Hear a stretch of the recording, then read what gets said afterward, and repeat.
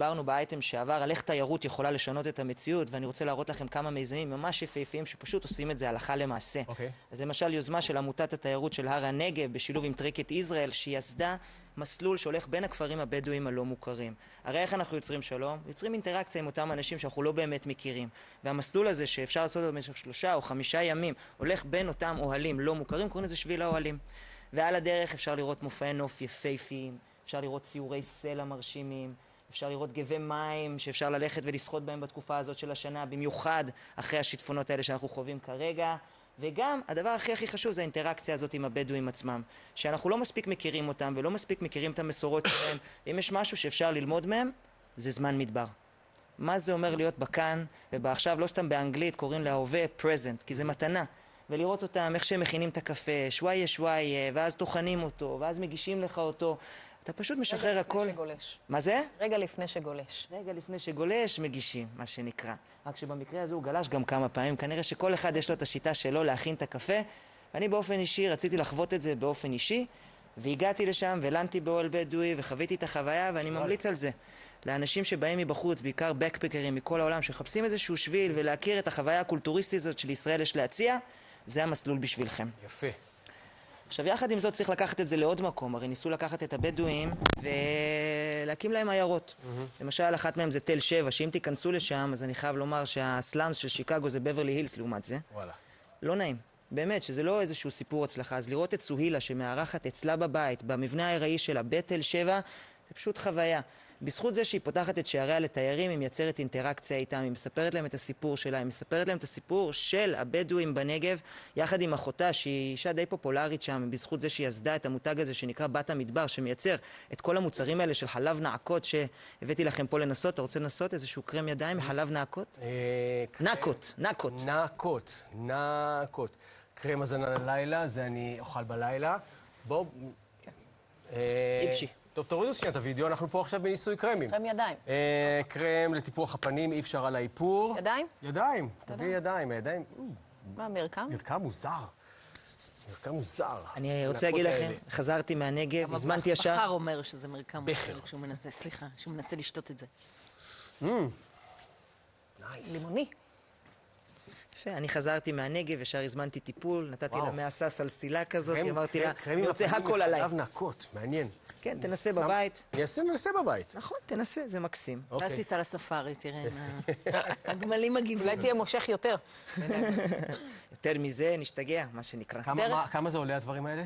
וואי, קטונתי, אני לא זוכר את המחירים, אבל מחיר של שווה נפש אה? לכל כיס. אוקיי. אז רציתי שתבואו, תטעמו במו, עם הפלט שלכם. אז אני לא זוכר את המחירים, אבל המחירים הם שווה נפש לכל כיס. לא משהו שאנשים בו בציבור הישראלי לא יכולים להרשות וואי, לעצמם.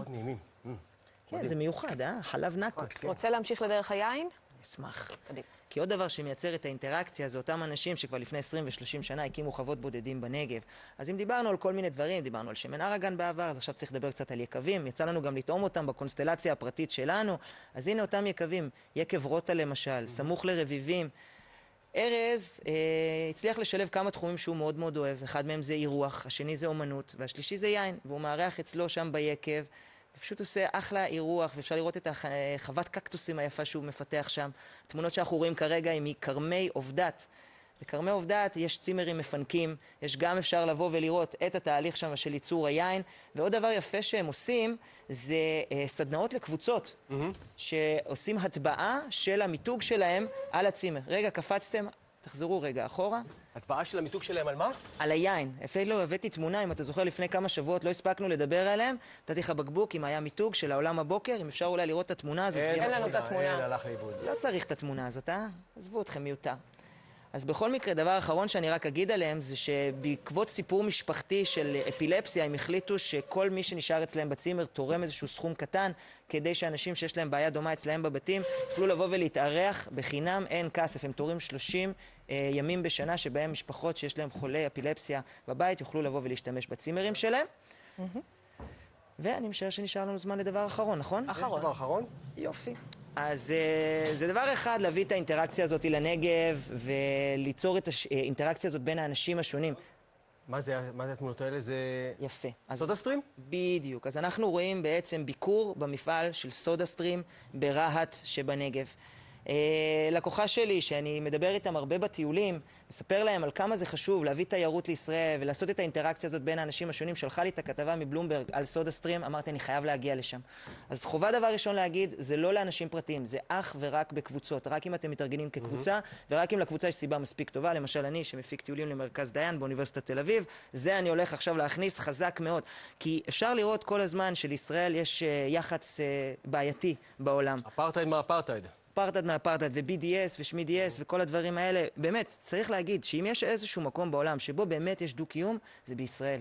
ואפשר לראות את זה כל כך יפה במפעל הזה ברהט, הפסיפס האנושי הזה, בדואים, ערבים פלסטינאים שמגיעים לשם, יהודים מכל הקשת הרחבה, וכולם עובדים ביחד. אפילו אנשים עם צרכים מיוחדים, שמעתי סיפור מיוחד על שני אנשים שעובדים במפעל, ששניהם אילמים, שבאיזשהו שלב היה צריך להפריד ביניהם, כי היו ביניהם כאלה יחסים שהם הפסיקו לעבוד, הם כל היום ככה עשו כזה. וזה פשוט יפהפה לראות שזה אי של שלום אצלנו כאן בישראל, ברהט, ולבוא ולקחת את ה-BDS ולהפנות את ה... אתם יודעים, את הנשק הזה כנגדם, להשתמש בצורה נכונה בשיווק ובתקשורת, כדי להראות שפה בישראל קורים דברים יפים בשילוב בין תרבויות שונות ואוכלוסיות שונות. ארז לנדאו, תודה רבה רבה.